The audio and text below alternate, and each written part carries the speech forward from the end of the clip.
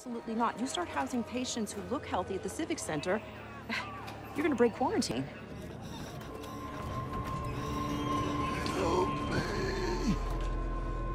Boyd? Oh my god. No, don't touch him.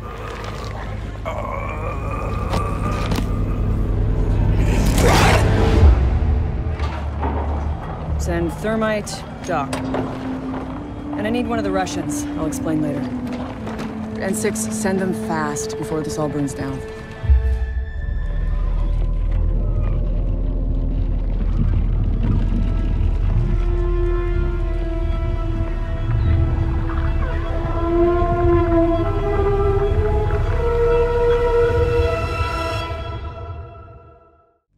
Resort approach confirmed. No, no, Find those weak points and set the charges.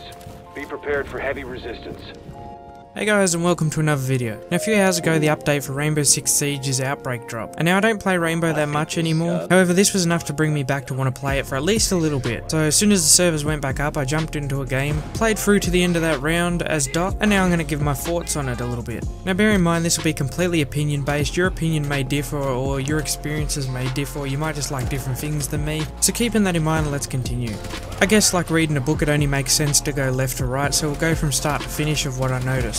Okay so when you first started up you'll get a really cool cinematic that's a lot longer than the one I had at the start of the video. I didn't want to make it too long but I wanted it in there just so anyone that hadn't seen it yet would get a little bit of a taste before they booted it up for themselves. Now how good was that cinematic though? Like a lot of the original operators cinematics were good but even by that standard that took it to a whole new level. Moving on from there in the particular round that I loaded in on, instead of just your normal Rainbow Siege drop in and off you go, you've got like a mini cinematic where you see your operators actually pulling up on the operation. While it wasn't much, it did look really really clean and I think that it added that little bit extra to it. One thing I have to say is I was playing as Doc throughout all this, and I'm by no means a Doc player, like I really dislike playing Doc. I'm more of a Frost and a Caveira. But this game mode actually makes you want to play Doc. Just in case one of your teammates gets down, you can come in clutch so easy with that little pistol that can make all the difference. I can see Doc being a definite must have for the harder difficulties. Not only does having his stim pistol come in handy, but using the P90 feels pretty nice too. Being that I never thought I'd ever play a game mode like this or anything even close to this in Rainbow Six Siege, I expected it to be full of bugs. But so far it feels pretty clean. I think the only thing I've come across so far is the AI behaving a little strangely sometimes. Like at one stage my stim pistol was actually out of ammo and I was able to go and revive my teammates while being assaulted by the infected. But I'd take that with a grain of salt because this was on the lowest difficulty and I do feel if it was on a higher difficulty then you wouldn't be able to just simply stand there and tank damage. One thing that I think they did really really smart with this is they keep you moving just enough so you don't feel like you're waiting around in the same area for a long period of time. You sort of get to an area, get swarmed by a horde, defend it, and then you move on to the next area. It doesn't feel like other games versions of these type of game modes where you're kind of just running around in circles for ages until you inevitably die. With the fact that there's a good balance of different types of infected to fight along the way, it doesn't really feel like it's rinse and repeat the whole way along, and the fact that they can come from all different areas adds a nice effect as well. All this while having to move between objectives really stops this game mode from becoming boring because you never feel like you're stagnant and just sitting in the one place. When you get to an objective you'll be able to reinforce the walls and there'll be certain things you can resupply there. A couple things I did like was with the wall reinforcements which you do have to pick up as though you're rearming. When you place down the reinforcements the speed is increased like it's a little bit faster than what it would be in a normal multiplayer game which is really nice because the last thing you want to be doing in a game like this is whacking up walls while you're getting clobbered by infected. Now with the other types of rearming you've got one to fully do your health, you've got one for your gadgets such as stim pistol in my case, and you've got one for your ammo. Now these can only be used three times, which works out well with the amount of characters that are actually in a round.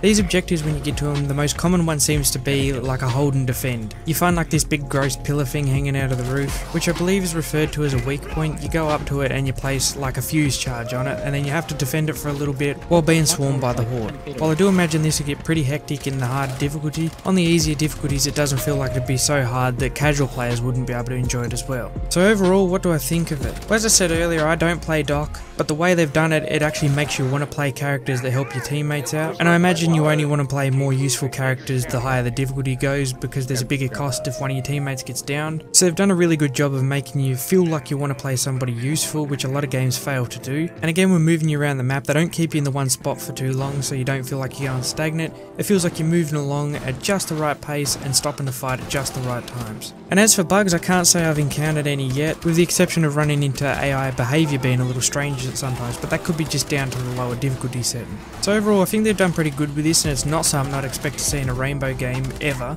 And when I first heard about it, I expected the worst, I'll be honest. But overall, it feels like they've done a really, really solid job. So if you haven't played Rainbow in a little bit, and you was wondering whether it was worth giving this a try, absolutely. Like, I probably wouldn't go out and buy a Rainbow just to play this, especially with it not being a guaranteed permanent game mode yet. But if you already have the game, definitely give it a go. It's a lot of fun and it's one of the strangest things you ever experience in Siege, I guarantee that. Now here's just a little personal hope, hopefully this encourages them to keep this game mode around because it does seem like it'll be a lot of fun and I'd like to see where it ends up. I'd also like to see them add a co-op campaign style game mode to the game, or even some random co-op missions, with every time they release new operators coming out with a new set of missions. That just further add to the story.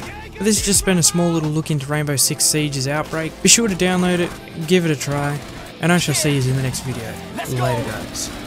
I'm unstoppable, do the impossible. I'm irresponsible, yet I'm phenomenal. I got an arsenal, I'm dropping bombs, you know. No, I'm not stopping, no. Conquer the obstacle. To the top, here I go, think I'm chosen to be the king of rock. Think the people have spoken.